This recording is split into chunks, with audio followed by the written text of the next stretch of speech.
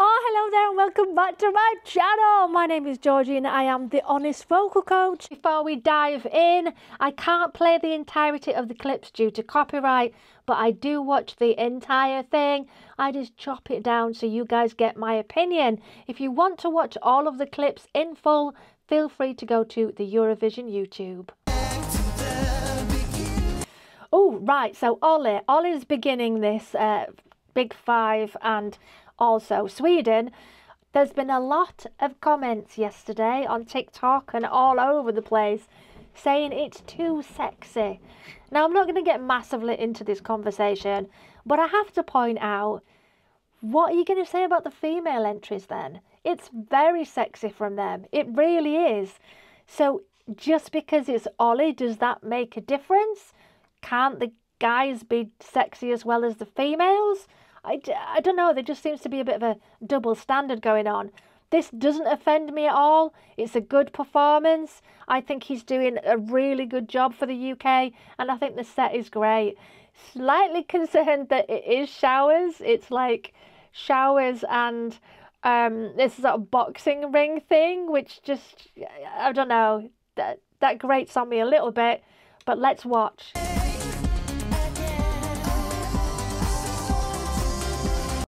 That's so cool that they're hung upside down.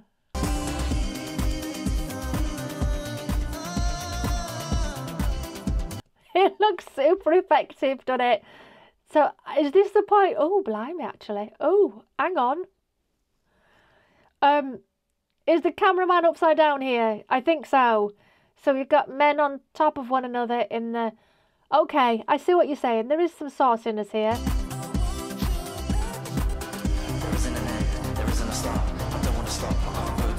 What have they all got the tongues out like there? What's that about?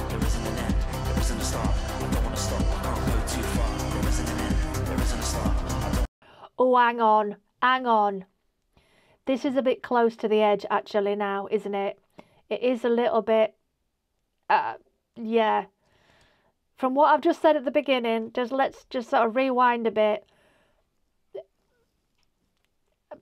Uh, it is going out after nine o'clock, though, isn't it?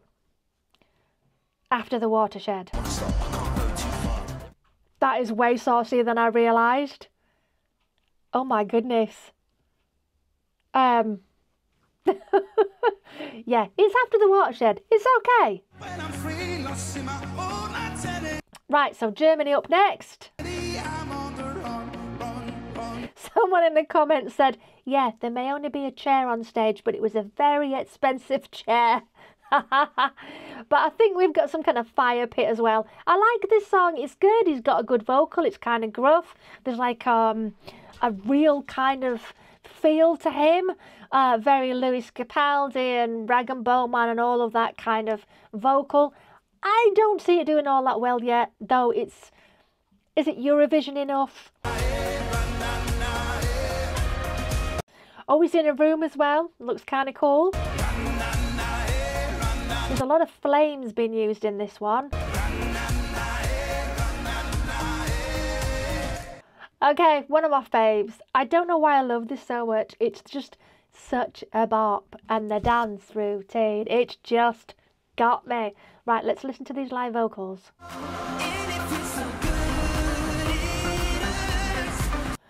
Good it hurts. But you know, they're not English, they are Norwegian, I think, but they're performing for Sweden. People do have issues with this. I don't. I don't think this is an issue.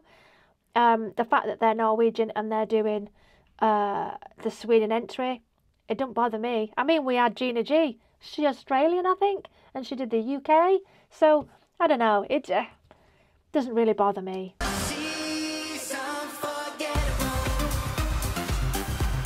Coming across really well, good vocals. They've got very good stamina to be able to dance and sing to that uh, quality. It's awesome. I love that one. Ooh, France. Okay, it'd be nice to see the camera angle for this one because it is a little bit dramatic.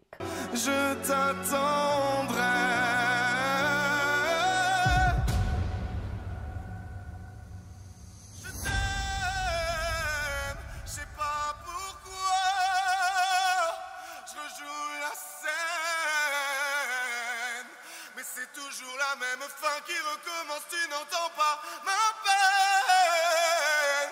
On en fait quoi That's so effective. Look how far away from the mic he is. It's brilliant. Oh, Spain. Spain. It's not doing it for me now. I liked it when I first watched it, but she just doesn't have enough energy and enough oomph and fire behind her. Give it some. If she's saving it for the final, I do hope so.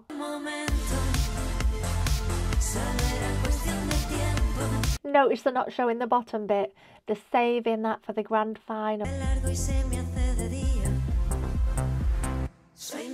She just doesn't have it for me. There's no charisma. There's no oomph. Oh, I've not heard this yet. Well, I have heard it, but I've not heard it actually on stage. Oh, we changed costumes again. Yes, they have. Okay. So in the last one, they had like white silver swirls.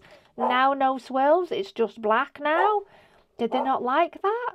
I kind of thought it looked awesome. And apparently, it was to do with copyright that we didn't get to hear the audio on TikTok.